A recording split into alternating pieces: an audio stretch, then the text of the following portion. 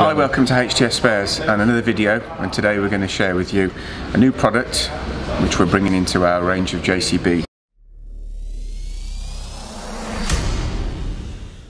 This is a fuel injector for the Common Rail diesel engine, the 444 EcoMax engine, 55 kilowatt. And as you can see, it's a Delphi product, which is the original equipment. It's a very popular item and we've decided to bring this into range. Customers request, it's a very popular item for going. It fits uh, machines from 2012 onwards and because it's an original equipment, it's not aftermarket, it's fit and forget, better quality product.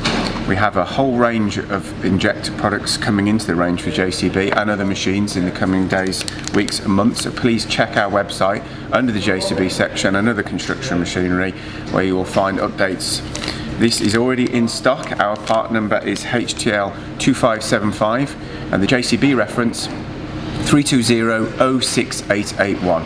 As I said, it's a Delphi product, original equipment. It's not an aftermarket product, so it's fit and forget. Thanks very much for watching this video. We look forward to showing you some new products coming soon.